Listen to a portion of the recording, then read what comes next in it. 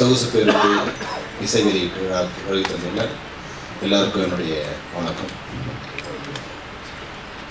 இந்த இசை வெளியீட்டு விழா வந்து இசை வெளியீட்டு விழாவாக மட்டும் இல்லாமல் ராசமுதல்வரோட நினைவு நாள் மாதிரி ஒரு உருவம் எடுத்துருச்சு.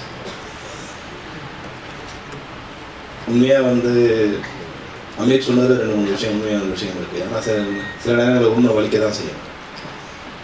ஆனால் நடந்து போயிடுச்சு. நடந்ததுக்காக வந்து அது அந்த குடும்பம் வந்தாலும் வந்து இப்போ வந்து தெருவு நிற்கக்கூடாதுன்னு தான் இப்போ எங்கள் எல்லாரோட நோக்கமே. அந்த அடிப்படையில் தான் இந்த விழா கூட வந்து சிறப்பாக நடத்தணும்னு நம்ம முயற்சி அதனால் முதல்ல இந்த வந்து அழகப்பா நல்லா சொன்னார். இந்த படம் படத்துக்கு நிறைய பேர் ஃபைனான்ஸ் பண்ணியிருக்காங்க நிறைய பேர் வாங்கியிருக்கீங்க. இல் வரலைன்னா மொத்த பணம் வராமல் போயிடும்.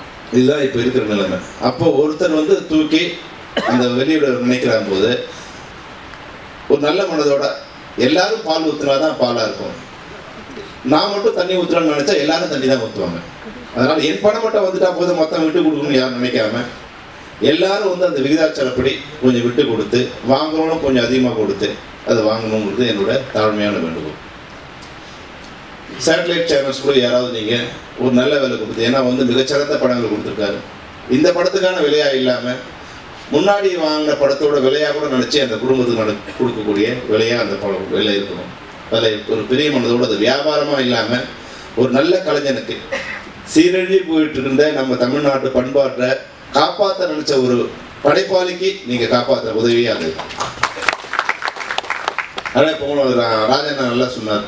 இது மாதிரியான விஷயங்களை படையெடுத்துட்டு இருக்கும்போது ஒரு சிறந்த படைப்பாளியாக அந்த மண் வாசனையை கதிரவன் ஐயா பேசும்போது சொன்னாங்க. இன்னொரு பாரதி ராஜா வரக்கூடிய மிகச்சிறந்த ஒரு படைப்பாளி.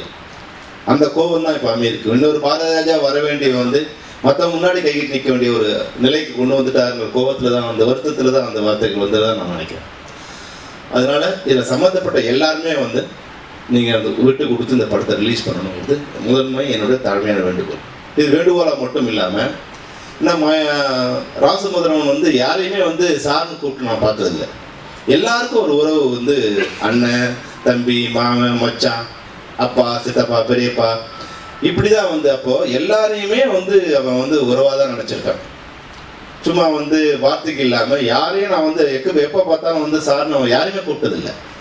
அவருக்கு இது மாதிரி ஒரு வியாதி இருக்குன்னு கூட எங்களுக்கு தெரியாது. நான் இப்போ நம்ம எலெக்ஷன் நடக்கும்போது கூட அவர்கிட்ட ஃபோனில் பேசுகிறேன் ஈசி நிற்கிறோம்டா நீ என்ன? அண்ணே இந்த ஷூட்டிங் நடந்துட்டு இருக்குண்ணே அப்போ அவர் உடம்பு சரியாக இருக்காருங்கிறது எனக்கு அப்புறமா தான் தெரியும். ஷூட்டிங் நடந்துட்டு இருக்கு.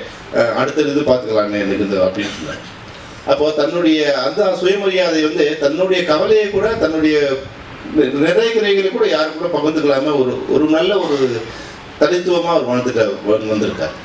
இப்போ நான் உங்ககிட்ட எல்லாரும் வைக்கிற வேண்டுகோள் என்னன்னா இப்போ வந்து சில நேரங்களில் வந்து இது நம்ம இது நம்ம குடும்பம் இது. இது நம்மளுடைய குறைகளை வந்து பேசுறதால இல்லை நம்ம வருத்தங்களை பேசுறதால அது தவறாக எடுத்துக்க வேண்டிய அவசியம் இல்லை.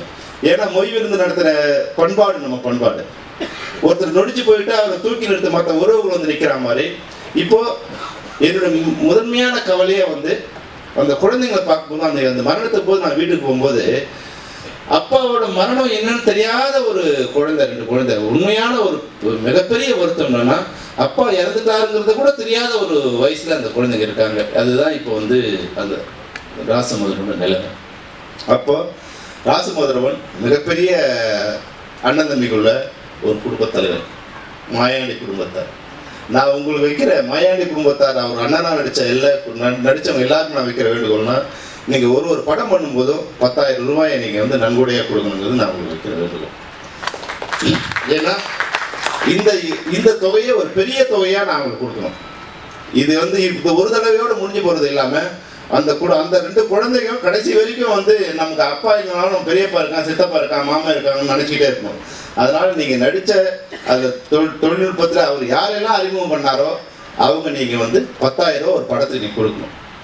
உங்களுக்கு என்னை பற்றி தெரியும்? நான் க- நான் கலெக்ட் பண்ணிடுவேன் நான்.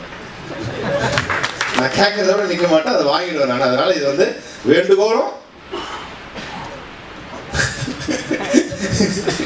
அப்புறம் அது மட்டும் இல்லாம வேற எங்க ஏன்னா அவர் வந்து வெறும் இயக்குனர் மட்டும் இல்லை மணிவண்ணனோட உதவி இயக்குனர் எங்களுடைய குடும்பத்திலிருந்து வந்தவர். அதனால எங்களால் என்ன இயக்குனர் சங்கம் மட்டும் இல்லாமல் இயக்குனர் மட்டும் இல்லாமல் தமிழ் திரைப்படத்துறை சம்மந்தப்பட்ட எல்லாரும் கூட்டு இந்த தொகை ஒரு நல்ல தொகையாக அந்த குழந்தைங்களுக்கு போய் சேர்கிற மாதிரி பண்ண வேண்டியது. இயக்குனர் சங்க செயலாளராக மட்டும் இல்லாமல் ஒரு இயக்குனராகவும் ராசுமருடைய சகோதரனாகவும் இந்த பொறுப்பை நான் எடுத்துக்கிறேன். நீ ம- கருப்பையை கையெழுத்தா கருப்பை தானே கையெழுத்து போட்டிருக்கான்? நீ விடுமா நாங்கள் பார்த்துக்கலான்னு அவங்க சொன்னாங்க இல்லை இல்லைங்க எங்கள் வீட்டுக்காரில் கையெழுத்து போட்டிருக்காரு அப்படின்னா. செத்தா கூட தங்க வீட்டுக்காரோட கடனை அடைக்கணும்னு நினைக்கிற ஒரு மனைவி அவங்க. அதனால அது போல வந்து நல்ல குடும்பத்துக்கு நம்ம எல்லாரும் ஒரு உதவியாக இருக்கணும். உங்களால் முடிஞ்ச எல்லா உதவியும் நீங்கள் பண்ணணும். இந்த இசை வெளியீட்டு விழாவுக்கு வந்தவர் நிறுத்தம் மட்டும் இல்லாமல் ஒரு வினர்ச்சியோட மட்டும் பேசிட்டு போகிறதா இல்லாமல் இந்த உதவியை நீங்கள் எல்லாரும் செய்யணுங்கிறது தான். ஏன்னா அமீர் சொன்னதில் சின்ன ஒரு இது என்னென்னா மேடையில் சில பேருக்கு வந்து உதவி உதவி பண்ணணும்னு நினைக்கும் நான் இன்னைக்கு பத்தாயிரம் கொடுக்கணும்னு நினைப்பேன். உடனே கொடுத்துடணும். நாளைக்கு போனால் ஐயாயிரம் கொடுத்தா சரியாக இருக்குமோ? அப்படின்னு தோணும். அதனால அந்த உதவி டக்குன்னு வந்து பண்ணிடணும். அதுதான் வந்து சரியாக இருக்கும். சில நேரங்களில் வந்து நம்ம மேடை நாகரிகத்துக்காக கூட சில உதவிகளை பண்ணிடுவோம். நம்ம தனித்தனியாக போய் கலெக்ட் பண்ணுறது என்ன கலெக்ட் பண்ணும்போது எனக்கு கஷ்டம் வந்து அம்மிக்கு தெரியாது. அதனால இதெல்லாம் வந்து கமிட்மெண்ட்டாக நம்ம வந்து இப்போ ஒரு இது ஒரு பத்திரிகை இதுவும் இல்லை. வந்து ஒரு விழா இல்லை. ஒரு குடும்பத்தில் வந்து ஒரு மூத்த சகோதரனோ இல்லை தன் இளைய புள்ளியோ இறந்து போனால் அது நிகழ்ச்சிக்கு வந்திருக்க உறவினர்களாக தான் நான் உங்களை எல்லாரையும் நினைக்கிறேன்.